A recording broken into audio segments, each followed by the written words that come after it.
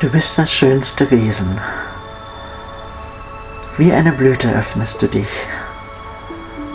wenn du dich dem Licht zuwendest. Das Licht, dass du in Ewigkeit bist.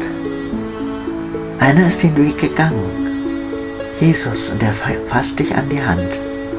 Er bittet dich, verbinde dich mit mir und öffne dich für die Liebe jetzt und hier dann bist du wie eine Blüte, du fingst an zu scheinen. Du bist das Licht, du bist das Sein.